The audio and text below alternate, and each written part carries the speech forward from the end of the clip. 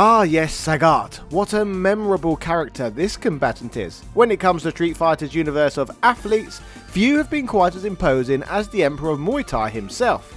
This towering adversary has become iconic for not just being one of the toughest opponents players must face off against in Street Fighter 2, but also as this legendary game's penultimate challenge.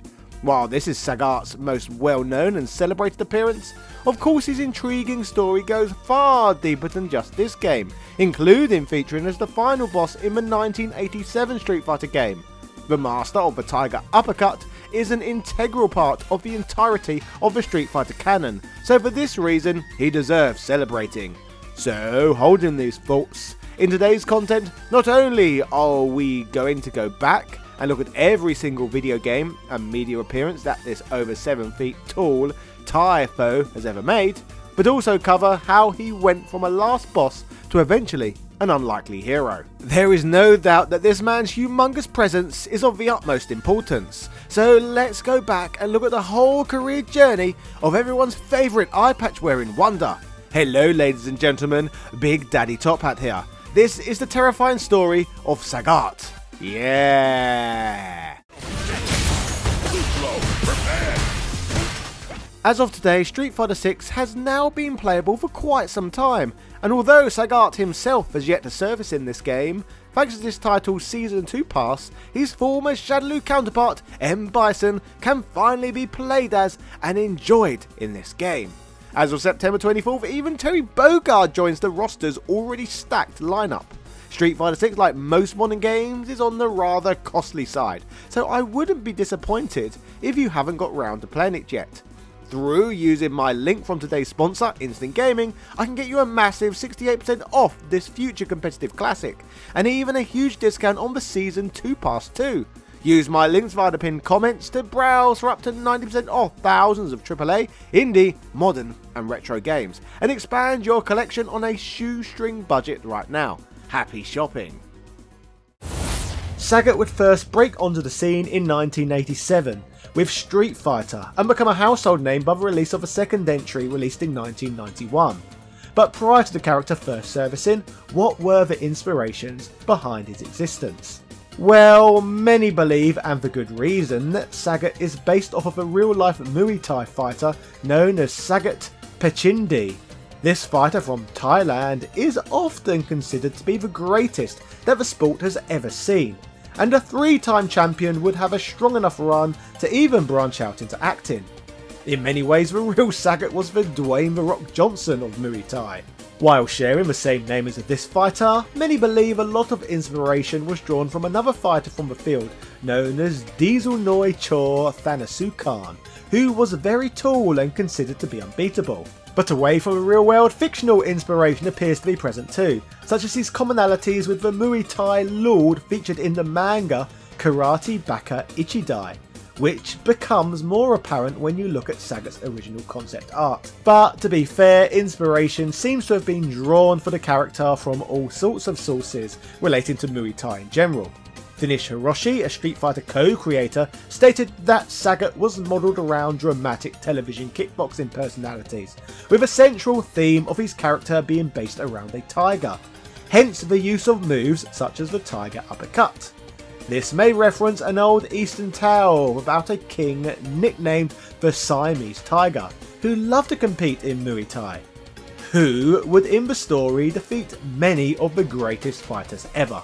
In martial arts, the tiger is often associated with a hard style of external based fighting, the opposite to the dragon, that is symbolic of a soft style of internal based martial arts, with the two acting as a sort of yin and yang to each other, making his rivalry with Ryu make even more sense, which we shall discuss soon. Across fighting games, Sagat is well known for his huge frame, which paired with his Muay Thai fighting style gives him a significant physical reach over many opponents, making it all the easier for him to land devastating kicks. In combat, Sagat prioritises being on the offence above everything else, allowing him to quickly overwhelm opponents who cannot keep up with his onslaughts. Being so tall in stature makes Sagat a much bigger target than many combatants, making dealing with foe quickly all the more important. His longer limbs paired with his ability to shoot projectiles known as tiger shots make his offence extremely difficult for opponents to avoid. His infamous tiger uppercut is also the perfect move to take on aerial opponents, giving him great range in every direction. Before we talk about Sagat's first ever appearance in the 1987 Street Fighter game, I guess we should quickly discuss this man's early life. As a child, Sagat would of course grow up in Thailand, finding himself in constant brawls, quickly gaining an affinity for fighting. In one of these childhood fights, his right eye would become significantly injured, developing into a weak point for the fighting enthusiast. Doing literal street fighting though, a young Sagat could only learn so much, so it was only a matter of time before he started training more formally in the art of Muay Thai. By the age of 15, Sagat had grown to a tremendous size, which quickly gave him an advantage over other fighters, leading to him becoming a Muay Thai champion. Sagat's notoriety would soon earn him the nickname of the Emperor of Muay Thai, and would even go on to take on a student of his own known as Adon. During one of his fights as champion, he took on a fighter known as Go Hibiki, who would take note of Sagat's weak right eye, and thus direct all of his attacks in that direction. One of these attacks would land so hard it would gouge out Sagat's eye completely, leading to him needing to wear an eye patch forever. This event would enrage Sagat so much that he would summon a power deep within, launching his first Tiger Shot, killing Go Hibiki in an instant, which plays into the story of Street Fighter Alpha which we shall cover later.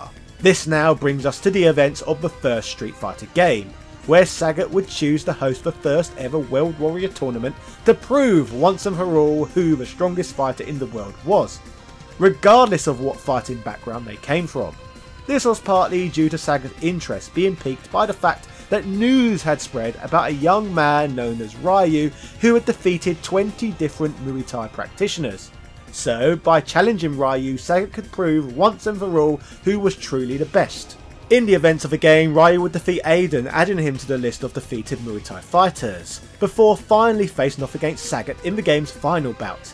In this brutal encounter between the two men, Sagat would technically win the tournament by pinning Ryu, but in a post-match altercation, Ryu would deliver a close to fatal Shoryuken, leaving a huge scar across Sagat's chest and him swearing revenge. The next chronological part of the Street Fighter story would occur within the Street Fighter Alpha games. In Street Fighter Alpha, seeking revenge, Sagat would seek a rematch against Ryu, eventually getting the fight he wanted and even winning in the process. Despite picking up the much desired victory, Sagat felt hollow, believing Ryu held back. Sagat would eventually give up his vendetta, believing it to be a fool's errand. However, M. Bison would arrive on the scene suggesting he must master the Psycho Power to be truly feared. While this obviously marked Sagat joining Shadaloo in this game, these events would be completely retconned with Street Fighter Alpha 2, delivering a different story. For Sagat and Alpha 2, the story is brought back to the events following the first Street Fighter game. Adon mocks Sagat for losing to Ryu in the World Warrior tournament, and the pair face off to see who the god of Muay Thai truly is. Sagat is defeated by Adon due to still not recovering from his chest being ripped open by Ryu previously. In a rematch, he would beat Adon so decisively that the young man would be in traction for four months. Continuing to be consumed with rage at the hands of his match with Ryu, Sagat eagerly accepts an invitation to join the criminal organisation headed by M. Bison known as Shadaloo, who claim they can provide him with the resources needed to locate Ryu and get his rematch. His imposing stature and fighting style made him perfect for Shadaloo, being given the position of M. Bison's bodyguard. Now in Shadaloo he soon catches up with Ryu getting his much desired rematch. Ryu is resistant to fighting Sagat again though, due to noticing his chest still has not recovered from their previous encounter. But Sagat eventually gets his way and defeats Ryu just like in the first Alpha game story. Sagat would soon realise that Ryu had actually let him win, leading to Sagat wanting to train harder and win cleanly in their third encounter. During this training period, Sagat would develop the Tiger Uppercut, a key component he felt would change everything. Also in Alpha 2, for the first time, Sagat would come across Dan Hibiki, one of the comic relief characters of the Street Fighter universe. We will talk more about the ridiculousness of Dan in a future episode, but for context today, he is the son of Go Hibiki, the man Sagat had killed in the match where he lost his eye prior. Learning from his experiences with Ryu, and Ryu throwing the match due to Sagat's injury, Sagat would take pity on Dan and choose to purposely lose his match against him, deliberately satisfying Dan's anger in the process. In Street Fighter Alpha 3, Sagat would continue to show traits of deep down having a good character. Part of this was due to the realisation that his chest was split open by Ryu due to him being possessed by the Satsui no Hado, aka a surge of murderous intent, and the same dark energy wielded by Akuma. M. Bison would manage to present Sagat with a brainwashed Ryu ready for another match. Sagat would be disappointed with fighting a corrupted opponent, but would fight Ryu anyway to try and break Bison's mind control.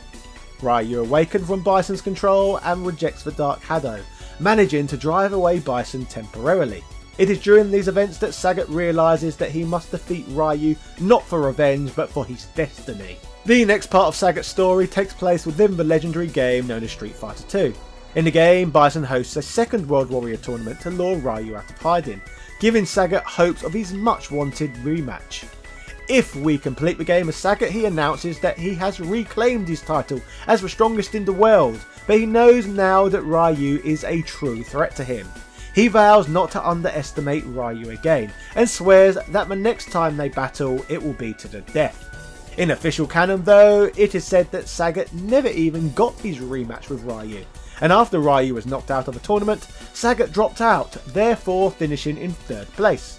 After the tournament, he would resign from Shadaloo for good and go back to Thailand continue his training to truly become the strongest fighter in the world. The next chapter of Sagat's story within the Street Fighter series would take place in the Street Fighter 4 games. At the beginning of Sagat's story, he has dropped into a depression, feeling like a loser. Attending an Adon fight, he is mocked by his former student, resulting in the two having a match once more. But managing to defeat Adon, his fighting spirit is reinvigorated, leading to him entering Sin's newly announced tournament. Maybe even finally getting another match with Ryu. In the game, he does get his much wanted match, but the game does not indicate who truly won in the story. Instead, the game ends with Sagat simply reflecting back on his obsession with Ryu, having the epiphany that fighting is not about winning or losing, but connecting with his opponent's souls through the use of his fists. Sagat pities tournament host Seth, who he can see his past self in. Returning to family and friends in Thailand, he tells them that at the tournament he actually had fun, because he met an old friend. In some ways you could argue that Sagat finding purpose and inner peace in Street Fighter 4 was the perfect ending to his arc, so when Street Fighter 5 was released, Sagat was nowhere to be seen. In fact, he would even have his old job role filled in Shadaloo, with Fang replacing him working for M. Bison. Despite this though, he would eventually be added as a DLC fighter, which would in turn build on his established story. In this game, Sagat now has a pet tiger, bringing his connection with the animal even closer. In the events of a Sagat playthrough, Sagat begins to be tormented by the Dark Hado, which it turns out he has been affected by due to Ryu splitting his chest open all those years before. Sagat however manages to overcome this power and his desire to kill by unknowingly tapping into the power of nothingness, essentially following a similar path to his old rival Ryu, leaving murderous intent behind. Of course, away from the mainline Street Fighter games, Sagat would appear in many other video games and media forms. This would include the 1995 Street Fighter live action movie. The character played by Wes Studi in the film is referred to as Victor Sagat, making Sagat a surname rather than the first name like previously inferred. In the movie, he is repositioned as an underground mob boss in Shadaloo City, but still retains his position as Bison's bodyguard. His rivalry with Ryu would be chucked out of the window too, and for some reason he would be depicted as Ken's main rival instead. He first pops up in the film when Ryu and Ken are featured as professional con artists for some bizarre reason. This obviously bears no resemblance to the games whatsoever, and they try to sell Sagat fake guns. Sagat uncovers these filthy young criminals' plot and orders them to be killed. The pair of low-level crooks beat Sagat's men, leaving Sagat impressed and making them Vega's next cage fighting opponents. The match is ruined by Guile though, but Sagat remains a thorn in the side of the heroes throughout the movie, acting as a secondary antagonist throughout. He would also appear in the Street Fighter movie video games, but rather hilariously, in his FMV introduction for the arcade game, he would be shown just comically being punched in the face. What an intro. In the Japanese Street Fighter II animated movie, Sagat would also be placed as a Shadaloo member, as one of Bison's main enforcers. He is shown in a flashback scene with Ryu where he receives his famous scar, whereas later in the movie he is belittled by Bison for the loss, with Bison denying Sagat a rematch. I guess his place within the movie is much closer to the plot of the game than that of the live action one. In the anime series known as Street Fighter II V, he would appear in the show with both eyes and no scar, nor is he connected to Shadaloo anymore. Here he is a former Muay Thai champion who refused to allow his fights to be fixed by a crime syndicate. The syndicate frame him as a drug dealer and he is imprisoned. Ryu and Ken defeat the criminals and present evidence that gets Sagat released from prison. Happy days. Interestingly, despite carrying the ridiculous Victor Sagat name, his appearance in the American cartoon series is fairly faithful to the games, with even a flashback showing Ryu giving him the scar, and functioning as Shadaloo's second in command. After learning of Bison's truly insane plans, he even switches sides and joins the good guys, giving him a redemption arc. Sagat would also appear in the Street Fighter EX series, Arika's 3D non-canon fighting games, where he would appear in Street Fighter EX2 and then go on to appear in Street Fighter EX3 past this point. In terms of crossover fighting games, he would miss out on making appearances as a playable fighter in every single Marvel vs Capcom game. But to make up for this, he would appear in many of the Capcom vs SNK games instead. Sagat would also appear in Street Fighter Cross Tekken, tagging with Dhalsim with the purpose of finding out what happened to a group of children who disappeared from Dhalsim's village. The two believe Pandora's box may hold the answers. Eventually reaching the Antarctic, the two find the missing children and Pandora opens before them. However, with the children safe, they decide they have no use for the box. Sagat would also appear as a hidden boss character to take down in the video game known as Mega Man Cross Street Fighter. Overall though, that just about rounds up the majority of Sagat's appearances over the years. In the world of video games, he is consistently represented as a proud, powerful, strong-willed fighter who is completely dedicated to martial arts, which paired with his intimidating appearance makes him terrifying even just simply looking at him. But despite a rocky start to life and his hateful rivalry with Ryu, eventually Sagat was able to overcome his bitterness to instead find inner peace. There are a few video game villains with a redemption arc quite like that of Sagat's. And with in-game decisions such as leaving Shadaloo, forgiving Ryu and showing mercy to Dan, this all illustrates what a fantastically layered character Sagat actually is. So next time you are playing Street Fighter 2, receiving Tiger Uppercut, after Tiger Uppercut to the face, please try to remember that there is more to this imposing opponent than what first meets the eye. Yeah. So, ladies and gentlemen, that was the terrifying story of Sagat.